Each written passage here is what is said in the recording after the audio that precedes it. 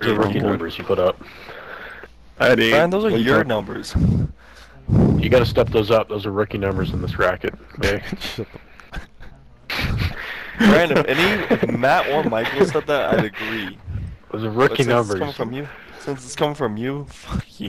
I'm Brian, Brian, you're putting up rookie numbers that could be demoting you from like the NBA to like